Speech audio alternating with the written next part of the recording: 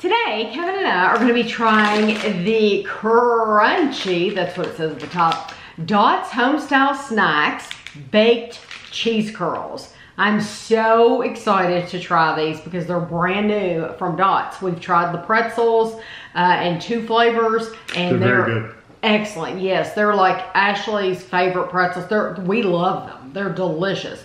Uh, Lynsie and David sent us these from Minnesota, so thank you so much.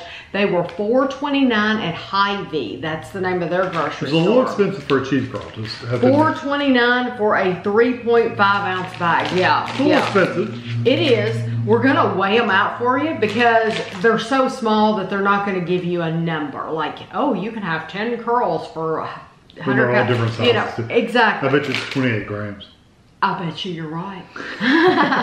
it is one ounce, 28 grams, it's 140 calories. It, there are three and a half servings in here. It's almost So- always the case. So I'm gonna cut this across. You, they have a little thing that you can um, uh, open it, but it it opens it down the bag, and I want, would rather open it across. Ooh, they smell very cheesy. Hmm, they do smell good. They look a little smaller than Cheetos, which is what you would compare these to. Yes, you can't help but compare them to uh, to cheese. look like they have Ooh, there we go. Look, 29. That's close. 20, 20, Yeah, there's some look, spices 28, that's quite a bit for It is. 28. No wonder they couldn't tell you how many you get. You probably get four, I bet you there's 40 pieces laying When, there. when she takes a picture of these, you'll be able to see these got the little spices all through them. It does. Uh, this has uh, the main ingredient is cornmeal.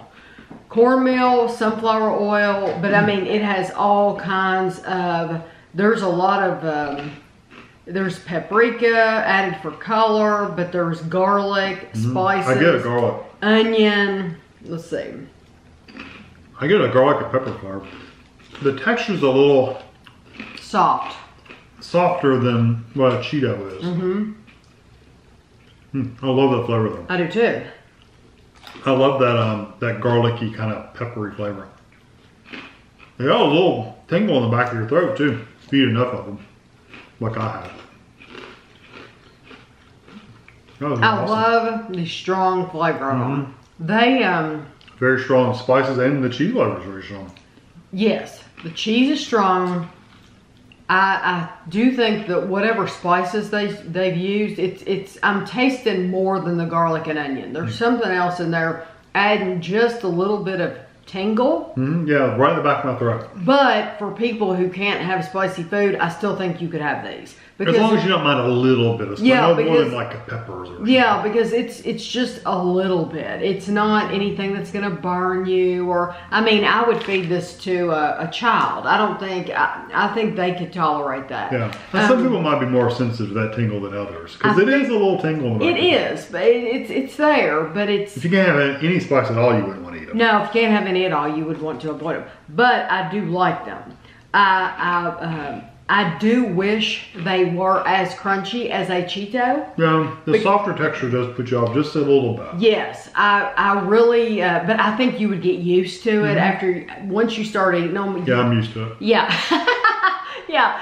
Once you start eating them, I don't think you're gonna care. I really don't. No, because the flavor is so good. Yeah, but uh, yes, they're absolutely delicious. They have a lot more flavor than just Cheetos. Oh, yeah. These are not like your typical Cheeto that just has a, a cheesy flavor. These have a cheese with garlic and onion and other spices. Uh, so honestly, I like the flavor of these much better. Mm-hmm. No, I think So- they're, they're very. So uh, yeah, these are absolutely delicious. So thank you so much to Lynsie and David for thinking of Yeah, us. these will be in the cabinet for, for dinner Yes. and snacks. Very, very much appreciate these and thanks for watching.